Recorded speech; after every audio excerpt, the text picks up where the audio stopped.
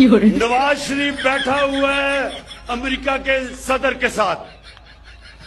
हाथ में उसने पर्ची पकड़ी हुई है।